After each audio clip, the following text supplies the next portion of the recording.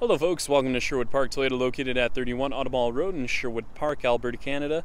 Today I'm going to be showing you this new Toyota RAV4 Limited. Now the most notable features on the Limited is its 360 degree backup camera, its parking sensors as well as its navigation system. Now I'm going to go through a couple more features on the inside and outside of the vehicle just to get you better familiar with this new Toyota RAV4 Limited. Let's get started. Now, a couple of the exterior features that you will see on this Limited is its daytime running lights. You also have your fog lamps.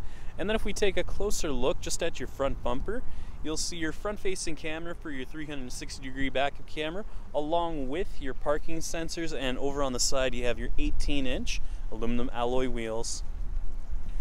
Now, on your mirrors, you have your integrated signal lamps as well as your down-facing camera on both sets of mirrors for your 360-degree backup camera, foldable mirrors, vortex generators, and if we take a look on the inside of the mirrors here, you'll find your blind spot monitoring indicator. Now, with your blind spot monitoring indicator, it'll actually light up just alerting you that there is another vehicle right beside you.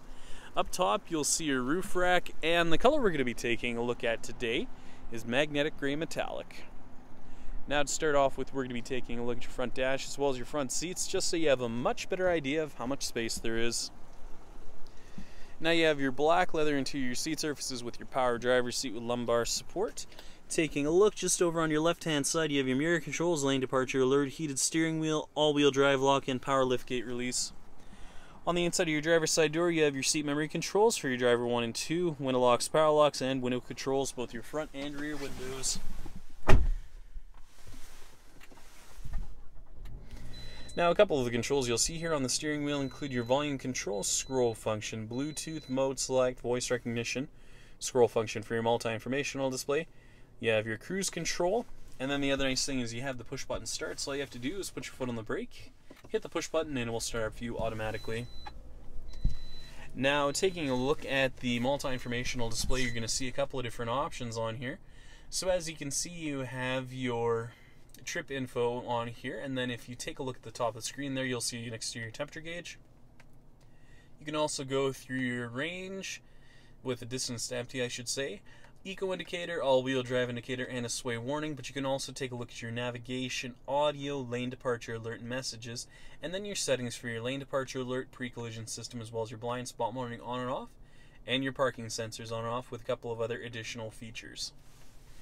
Now taking a closer look at the center dash as well as the touch panel display, you're going to see a couple of different options on here, which include your hazard lights, you have your traction control on and off, and then if we head inside the apps menu, you'll see your navigation audio phone as well as a couple of other additional features. You also have that premium JBL sound system, dual zone climate control settings, and down below you'll find your eco and sport mode along with your heated seat controls for your driver and passenger, window wiper deicer, USB and auxiliary, and your two power outlets. Now it's mounted to a automatic transmission, and if we take a look now, just at the very top, you'll see that auto dimming rearview mirror with integrated garage door opener and digital compass, and at the very top here, you'll see your open and closed and tilt up and down feature for your power moonroof, just for those days when it's quite bright outside. Now I'm just going to throw this into reverse just so I can show you the backup camera. So as you can see you have that nice backup camera view as well as that aerial view for your 360 degree backup camera.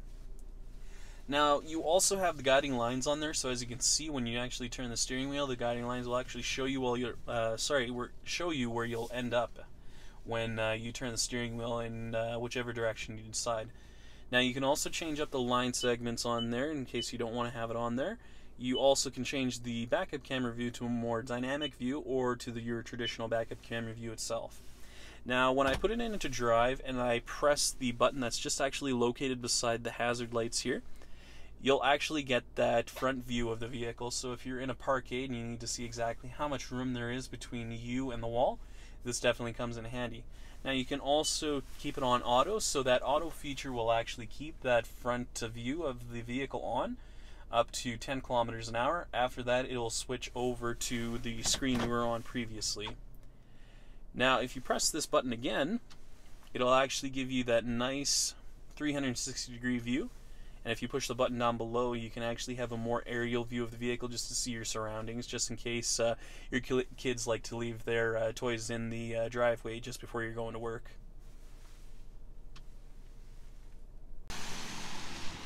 Finally, we'll be taking a look at your rear cargo area as well as your tailgate now located on your rear bumper. You're going to see your parking sensors just located right across.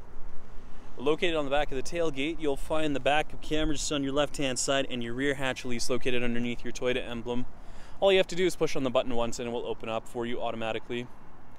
Now I'm just going to close in on the rear cargo space just so you have a much better idea of how much room there is. But the nice thing is you do have the cargo net in the back here, so if you have smaller items you can just place them inside the cargo net. And then you also have the tonneau cover in here as well. So with the tonneau cover, if you want to cover up your valuables just while you're going from place to place, you can use it this way. If you do require the additional space, you can actually fold down that 60-40 split rear seat as well. And if we take a look just underneath the floor, you'll see your spare tire as well as your jacking and your toolkit. But the nice thing about this space is that you can actually store your tonneau cover underneath here as well. So in case you're hauling some cargo and you need your tonneau cover afterwards, you can just take it out underneath the floor afterwards. The other thing I like is that you do have that power adjustable tailgate, so in the event that you need to readjust the height for yourself, hold down the button for approximately two seconds at the height you'd like it at. It'll beep a couple of times, and when you close it and open it again, it'll open up to the height for you. However, if you need to reset the height for yourself, hold down the button again for more than four seconds. It'll beep several times, and then when you close it and open it again, it'll open up to the maximum height for you.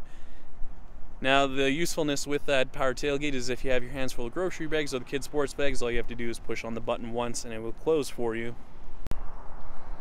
Thank you so much, folks, for watching this video today. If you have any questions, please visit us. We're located at 31 Automall Road in Sherwood Park, Alberta, Canada.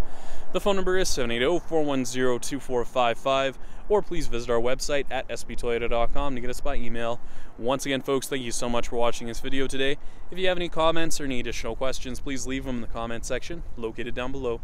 Other than that, make sure you have a great day, and I hope to see you next time.